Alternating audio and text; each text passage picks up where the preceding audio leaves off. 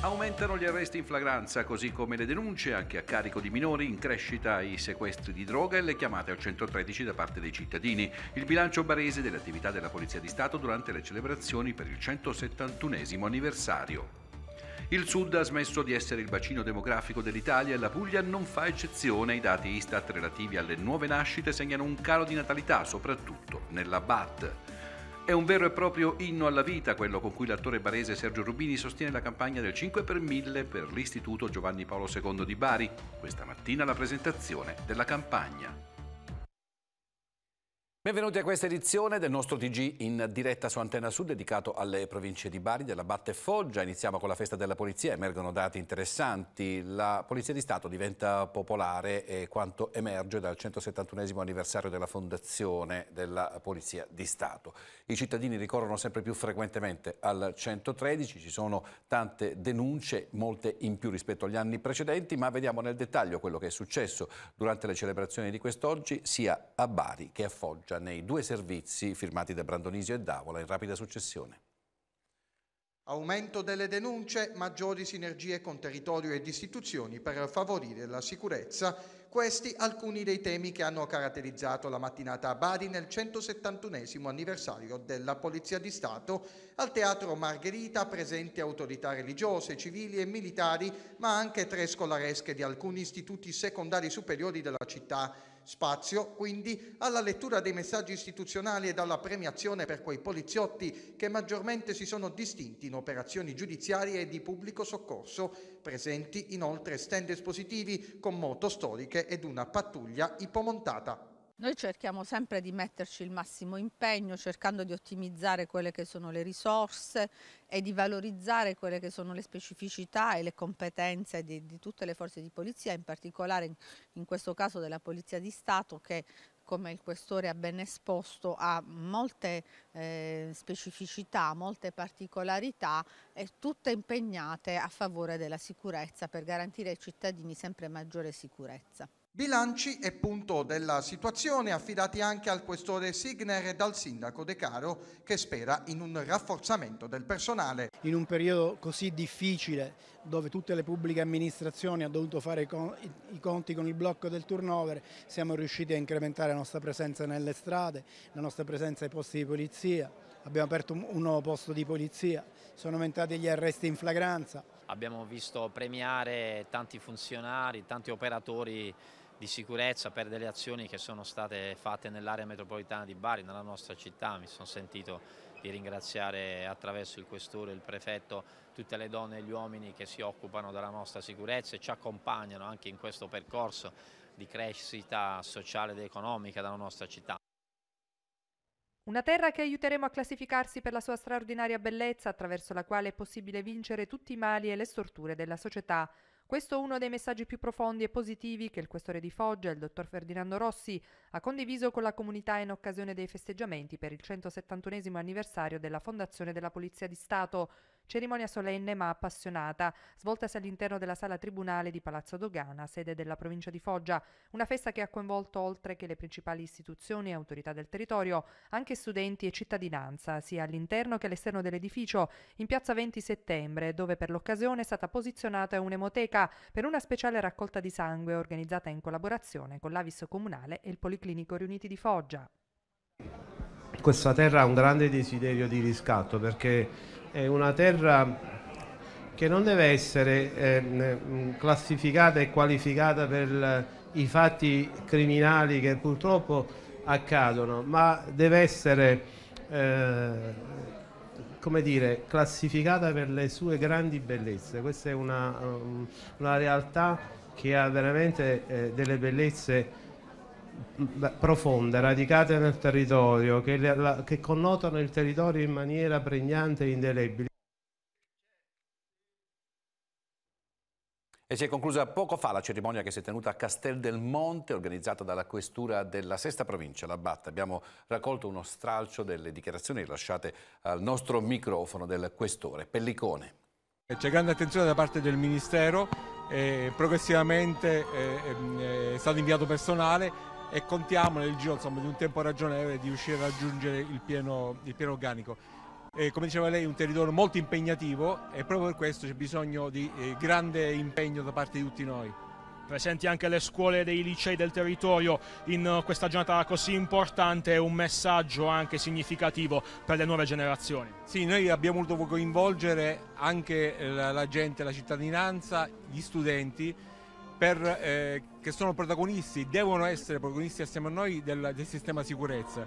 Quindi questo è il messaggio che vogliamo mandare eh, ragazzi che devono dire, imparare a, eh, ad essere appunto protagonisti della sicurezza e con loro vogliamo condividere questa, questo momento di, di festa per noi. E cambiamo argomento, apriamo un'ampia pagina dedicata alla cronaca. Sono state riaperte le indagini nella BAT, restando dunque sul territorio della sesta provincia, sul caso Casale. Ce ne parla Maria Fiorella. Archiviazione rigettata e nuovi termini di indagini. Continuerà dunque la vicenda giudiziaria per la morte del giovane chef Raffaele Casale, deceduto in un impatto frontale con la sua moto all'alba del 16 agosto del 2017 in via Martiri di Palermo a Trani. E la decisione del GIP del Tribunale tranese, Lucia Anna Altamura, a seguito dell'ennesima opposizione della famiglia alla richiesta del PM di nuova archiviazione del caso.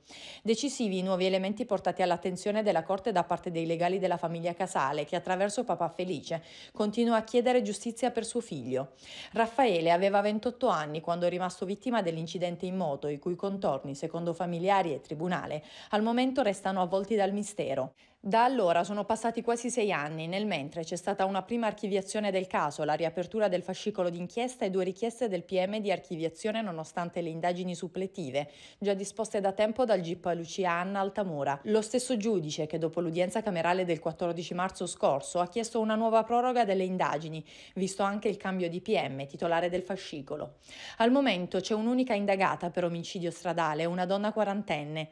Moderata la soddisfazione di Papa Felice, che tuttavia ha accolto con soddisfazione la non archiviazione del caso. Ora ci aspettiamo magari nuovi indagati, ha dichiarato Felice Casale. Per risolvere ulteriori indagini, infatti, è necessario ampliare la platea di coloro i quali potrebbero aver sbagliato. I familiari continuano a contestare la catena di errori e false dichiarazioni, oltre ai mancati interventi su quella strada, via Martiri di Palermo, su cui la moto di Raffaele ha smesso di correre. Restiamo nella BAT per proseguire la cronaca, sarà l'autopsia a stabilire la causa della morte di Michele Mastrorillo, lo farà ufficialmente, ricordiamo Mastrorillo è il 43enne ucciso a Canosa sabato scorso con un colpo d'arma da fuoco al torace, ancora Fiorella.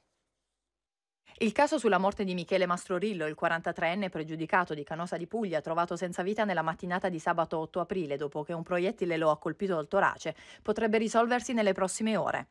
È stato infatti conferito ad un medico legale l'incarico di eseguire l'autopsia sul cadavere dell'uomo.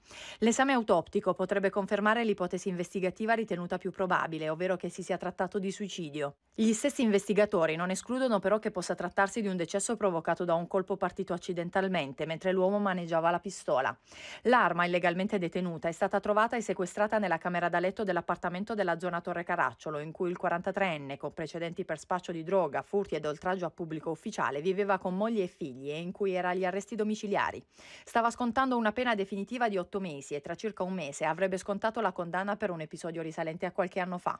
Nell'ambito dell'inchiesta aperta contro ignoti dalla Procura di Trani per istigazione al suicidio e detenzione abusiva di arma da fuoco, i poliziotti hanno sottoposto la prova dello stub moglie e figli alla ricerca di eventuali tracce di polvere da sparo.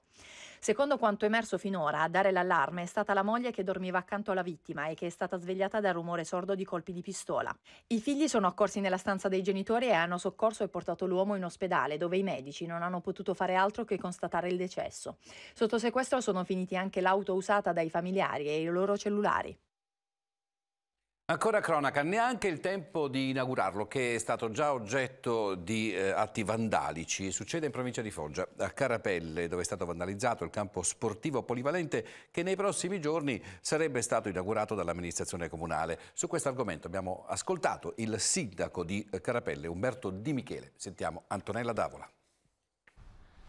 Questo è un campetto che l'amministrazione comunale è riuscita a farsi finanziare e a costruire. È stato affidato ad una società sportiva la quale doveva in questi giorni partire con eh, le prenotazioni per giocare a tennis, pallavolo, eh, calcio a 5, per giocare a pallacanestro, eh, una società che doveva tra virgolette smistare, dire tra virgolette smistare il traffico per poter giocarci.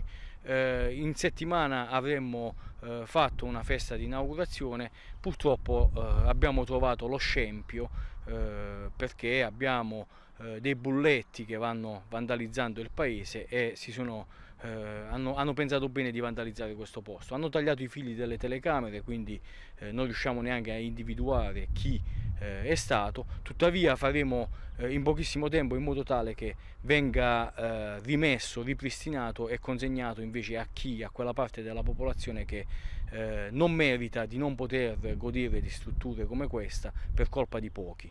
Abbiamo comunque provveduto a fare una denuncia contro ignoti, eh, siamo venuti con i carabinieri a fare un sopralluogo stamattina e scriverò al prefetto perché eh, eh, c'è la necessità di rafforzare il presidio e di fare in modo che questa gente venga eh, presa e eh, paghi eh, i danni che provoca. Residenti e commercianti di Andria alle prese con i cantieri dell'interramento ferroviario del mercato ortofrutticolo. Il sindaco Giovanna Bruno fa il punto sullo stato dei lavori da completare entro la fine dell'anno. Cantieri in corso di svolgimento ad Andria con i residenti e i commercianti che hanno recentemente manifestato il proprio malumore per alcune zone del comune federiciano imbrigliate dai lavori di manutenzione. Caso ultimo, ma di grande clamore mediatico, è quello dell'interramento ferroviario che ha messo alle strette Piazza Bersaglieri d'Italia e Via Vaccina, con una corsa contro il tempo per chiudere le operazioni entro il 2023 e non perdere i fondi stanziati per l'ammodernamento della stazione. Le operazioni proseguono anche dopo l'apertura della stazione di Andria Sud, mentre si attenderà il 2026 per ripristinare il collegamento con Barletta. Il sindaco Giovanna Bruno ha fatto il punto della situazione anche per quel che riguarda un'altra area della città sottoposta a modifiche strutturali. Sotto i riflettori, infatti, il mercato ortofrutticolo che insiste sull'area di Via della Costituzione e Via Catullo. Entrambe le arterie sono state ultimamente recintate per garantire la messa in sicurezza del cantiere. Via le attività di bonifica a partire dalla settimana post-pasquale, previe condizioni meteo favorevoli. La Giunta inoltre ha deliberato il piano di viabilità sostitutiva e provvisoria che interesserà via Barletta e le strade circostanti per non intaccare i passi in avanti per l'interramento ferroviario. Le scadenze si avvicinano con il primo cittadino che ha chiesto pazienza a residenti e commercianti per il bene futuro di Andria. E intanto in tema di eh, ferrovie e di infrastrutture ci sono anche le buone notizie perché c'è l'ok al progetto del nodo ferroviario di Bari Nord. La Giunta regionale pugliese ha espresso giudizio favorevole di compatibilità ambientale a questo progetto preliminare, un'opera da circa 633 milioni. Secondo il cronoprogramma nel 2031 l'infrastruttura dovrebbe essere pronta. Il progetto poco più di 11 km di linea ferroviaria consiste nella realizzazione di un nuovo tracciato invariante alla linea adriatica che si sviluppa quasi interamente al di sotto del piano della campagna con eh, realizzazione di due nuove stazioni con conseguente divisioni dismissioni di due attuali scali al servizio dei due quartieri di Palese e Santo Spirito e la soppressione dei passaggi a livello. Il cronoprogramma prevede un iter di 1850 giorni per il completamento dell'opera. Percorso di partecipazione attiva per progettare il nuovo piano urbanistico generale di Barletta. Venerdì la conferenza stampa alla presenza di associazioni di categoria e ordini professionali. Antonio Gargano. Partirà venerdì 14 aprile il percorso di partecipazione attiva alla realizzazione del piano urbanistico generale di Barletta.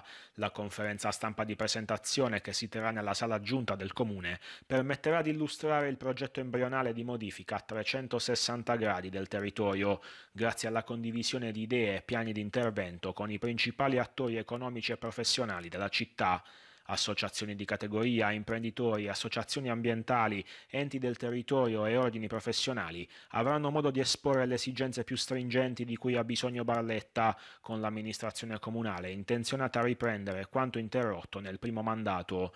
Già negli scorsi anni, infatti, si era proceduto con l'approvazione del documento programmatico preliminare nel 2019 e la delibera di giunta comunale per l'approvazione del programma di formazione del PUG del 2020, cui è seguita la nomina e l'inserimento l'insediamento dell'ufficio di piano, composto da esperti con competenze multidisciplinari. L'iter aveva poi portato a diversi tavoli tecnici che avevano incluso anche gli uffici provinciali, in particolare in tema ambientale, per il piano dell'assetto idrogeologico e per il piano paesaggistico. L'obiettivo resta quello di procedere a passi costanti verso un aggiornamento del piano regolatore generale, fermo ormai al 1971. L'incontro di venerdì vedrà la presenza del sindaco di Barletta Cosimo Cannito e dell'assessore all'urbanistica Pierpaolo Grimaldi. E adesso vi raccontiamo un'interessante e lodevole iniziativa. Si chiama Tasselli di eh, Pace, il progetto dell'associazione L'Isola che non c'è di Latiano nel Brindisino, che prevede la consegna a fine mese di un basso rilievo raffigurante San Michele Arcangelo a Kiev in Ucraina. E intanto questo basso rilievo viene conservato nella cattedrale di Bari, come ci spiega Antonella Fazio. Si chiama Tasselli di Pace, il progetto che dà il nome all'opera in gesso dell'artista pugliese Cosimo Giuliano, destinata a Kiev e che resterà nella cattedrale di Bari fino a questo fine settimana. L'iniziativa porta la firma dell'Associazione Culturale L'Isola che non c'è di Latiano, alla quale aderiscono importanti cariche istituzionali, aziende e uomini e donne della società civile. Il bassorilievo rappresenta San Michele Arcangelo, messaggero di pace. La breve permanenza della basilica è scaturita dalla necessità di organizzare il difficile viaggio alla volta della capitale ucraina Ucraina, passando per la Romania, con un mezzo dedicato messo a disposizione dalla Divella SPA. L'opera arriverà a Kiev tra il 25 e il 28 aprile prossimi, ma l'associazione sta già lavorando alla seconda fase del progetto che prevede un viaggio alla volta di Mosca dove il messaggio di pace sarà affidato questa volta a San Nicola, rappresentato in un secondo bassorilievo di Giuliano che sarà esposto sempre in Basilica. Noi che siamo qui come Chiesa Madre di tutti i popoli, e vorremmo tanto che questo messaggio è il messaggio di un angelo che ha la parola di Dio e il senso del ciò che è giusto. Beh sì, è una piccola opera comunque che spero sia per un grande messaggio di pace. Questo percorso che noi abbiamo fatto sia alla cattedrale di Oria no? e poi siamo andati alla cattedrale di Taranto spero che questo percorso sia cioè, l'elemento giusto, un piccolo elemento se vogliamo, per eh, un messaggio di pace con la speranza insomma, che questo piccolo granello possa crescere eh, per portare una grande pace. Colmare il divario occupazionale di genere e imparare le basi di linguaggi di programmazione web. Eh, il Puglia Woman Code è il primo eh, progetto di questo tipo nella nostra regione. Saranno in tutto tre i giorni e ci saranno anche degli workshop. Sentiamo Davide Abrescia. Puglia Women Code è il primo bootcamp di formazione per sviluppo web dedicato alle donne, aperto a chiunque abbia voglia di cimentarsi con eh, le materie informatiche per poter avvicinare le donne pugliesi ad aziende sia locali che multinazionali che stanno cercando talenti e competenze nel digitale e nell'informatica qui in Puglia. Tre giorni dedicati alle donne e al lavoro, colmare il divario occupazionale di genere e imparare le basi di linguaggio di programmazione web. Il Puglia Women Code dal 21 al 23 aprile a Bari è il primo coding bootcamp nella nostra regione con l'obiettivo di creare profili pronti per le aziende del territorio, ma non solo. L'iniziativa è organizzata dalla Puglia Women Lead in collaborazione con l'Università degli Studi di Bari nel segno di un settore, quello della programmazione, in costante crescita. Credo che guarda al futuro partendo prima di tutto da una valutazione dell'esistente e dal cambiare le categorie di fine Novecento per passare nel nuovo millennio e sapere che il nuovo millennio deve avere una programmazione che ha come punto centrale la sostenibilità, ma mi permetto di dire la persona deve essere posta al centro di questa sostenibilità per il futuro di tutto il sistema paese. Sarà una tre giorni con workshop dedicati ad HTML, CSS, JavaScript, linguaggi basici di programmazione web, talk ispirazionali e tanto tanto divertimento. Leadership e comunicazione al centro della ventitresima edizione del Rotary Leadership Awards, tenutosi a Bari, cinque giorni ricchi di appuntamenti per giovani dai 18 ai 30 anni, come ci spiega Domenico Brandonisio. Capacità comunicative, creatività e propensione al dialogo, queste alcune delle tematiche al centro dell'edizione 2023 del Rotary Youth Leadership Awards, tenutosi a Bari. presenti giovani di età compresa tra i 18 e i 30 anni provenienti da Puglia e Basilicata, che verranno sottoposti a 5 giorni di formazione, un modo anche per mettere alla prova il talento di ognuno. Corso di formazione che devo dire è abbastanza innovativo in quanto si basa sul design sprint. Il design sprint è un metodo che si acquisisce, è un metodo che ha una sua componente multidisciplinare e serve per raggiungere una sfida. Abbiamo chiesto ai ragazzi che sono universitari di mettere a punto il loro, il loro sapere con questo corso professionalizzante. Il risultato è, mi dicono che io ormai sono quasi vent'anni che seguo questo RILA, è entusiasmante per i giovani perché innanzitutto li pone nella condizione di apprendere delle dinamiche anche di leader sulla, nella società. Lo dicevamo nei titoli, anche in Puglia si eh, verifica la cosiddetta denatalità. Il Sud ha smesso di essere il bacino demografico dell'Italia e la Puglia non fa eccezione. I dati Istat relativi alle nuove nascite segnano un calo soprattutto nella BAT, calo di natalità. La crisi delle culle, fuori di metafora, una denatalità crescente in tutta Italia e uno spopolamento ancora più radicato al sud, con una statistica che fa riflettere. La prima provincia pugliese che si aggiudica il non entusiasmante primato del calo demografico è quella di Barletta Andriatrani, dove i nuovi nati iscritti all'anagrafe ogni mille abitanti in vent'anni sono circa il 40% in meno. La provincia con minor numero di natalità nella regione in cui si evidenzia il dato più basso, 1,26, addirittura sotto la media nazionale. Difatti, mentre a livello nazionale il numero di figli per donna è dell'1,24, nella nostra regione la media si attesta all'1,22. Come calo della popolazione residente rispetto all'anno precedente, tutto il sud fa registrare i valori più negativi e la Puglia si attesta su un meno 5,6. In un rapporto decennale la Puglia perde oltre 8.000 nati l'anno. Il calo diventa addirittura di 14.000 unità in confronto a vent'anni fa, 40.145 le nascite nel 2002. I dati Instat relativi alle nuove nascite segnano in tutto tutto il paese un calo di natalità di valore storico. Per la prima volta dall'Unità d'Italia i nuovi nati sono sotto le 40.000 unità. L'Italia del 2050 sarà quella che già oggi cominciamo ad intravedere, un paese con pochi giovani, poche famiglie con figli, tanti anziani, dove sarà difficile trovare nuove leve da inserire nelle professioni vecchie e nuove e mantenere un welfare decente per chi nel frattempo sarà andato in pensione e avrà bisogno di cure mediche e non solo. Oggi la fascia di età tra i 18 e i 34 anni copre circa il 17% della popolazione. È un vero e proprio inno alla vita, quello con cui l'attore barese Sergio Rubini sostiene la campagna del 5 per 1000 dell'Istituto Giovanni Paolo II di Bari. Questa mattina la presentazione della campagna. Vediamo il servizio. Difendi la vita con noi. Un vero e proprio inno alla vita, quello che vede protagonista Sergio Rubini, l'attore originario di Grumo Aquila nel Varese, ha deciso di sposare la causa dell'Istituto Oncologico Giovanni Paolo II di Bari per la campagna del 5 per 1000. La struttura del capoluogo negli anni scorsi ha contribuito alla ricerca scientifica con numerose pubblicazioni e ricerche che hanno avuto riscontri a livello internazionale. Inoltre le sperimentazioni in corso offrono migliori chance di cura per i pazienti grazie a protocolli terapeutici all'avanguardia insieme a collaborazioni scambi con i migliori centri di ricerca di tutto il mondo. Lo faccio per, per, la, per, un ospedale, per una comunità che è anche la mia.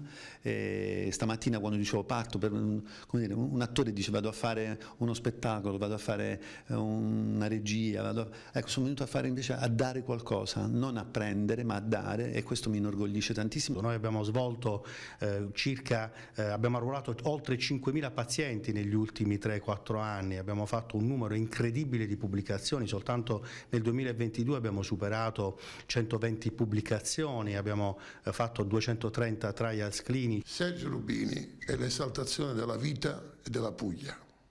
Qui oggi si festeggia la vita, non la malattia. La presenza di Sergio testimonia la vita e il recupero della salute che ad alcuni manca. Un vero e proprio spazio di condivisione con mostre, ma anche laboratori e musica live. Spazio Murat 2023 si rinnova e diventa un nuovo contenitore culturale della città di Bari. Ci spiega tutto e meglio nel prossimo servizio Antonella Fazio. Progetti espositivi, laboratori, rassegne, momenti performativi e musica live. Non solo mostre dunque. Spazio Murat 2023 con un'identità visiva, oggetto di restyling per affermare lo stretto legame con il Puglia Design Store, ha in programma di allargare l'offerta, a cominciare da aprile sino a fine anno. Spazio Murat cresce e ora intende consolidare la sua importanza in termini di promozioni culturali e per la città, ambendo a diventare laboratorio per sperimentazioni artistiche che anticipano il trend del futuro. La finalità è è quella di scoprire e coinvolgere le realtà che sul territorio si occupano di arte e cultura contemporanea e promuovere la condivisione di saperi e delle professionalità. Inoltre, tra le novità 2023 di Spazio Murat, spicca poi il restyling della sua identità visiva e la card Amici di Spazio Murat, una tessera che consolidi i rapporti con il suo pubblico e metta in essere vantaggi reciproci. Programmazione di otto mesi all'interno di un'attività nella nostra città nello spazio Murat che è stato il primo spazio culturale che è stato riaperto, eh, spazio che fa parte del polo delle arti contemporanee, è stato il primo luogo dove è tornata l'arte contemporanea, è tornata la cultura, è stato anche il primo luogo dove abbiamo provato a sperimentare una partnership eh, nel partenariato pubblico-privato. Una programmazione multidisciplinare, diciamo una programmazione che tiene conto di varie visioni, di vari sguardi ed è il motivo per cui abbiamo invitato diversi curatori e curatrici, diversi artisti che hanno anche timbri e strumenti artistici differenti. E con questo servizio si chiude anche questa edizione provinciale di Bari, Batte, Foggia del nostro TG in diretta, ma l'informazione su Antena Sud prosegue tra pochissimo il TG di Taranto, poi a seguire le notizie dal Salento, da Brindisi e Lecce. Grazie, arrivederci. Rimani connesso, scarica gratuitamente dagli store o tramite QR code la nuova app di Antenna Sud. Più veloce e con più funzioni per essere aggiornato in tempo reale sulle news di Puglia e Basilicata, seguire in streaming i nostri programmi o rivederli on demand da qualsiasi dispositivo.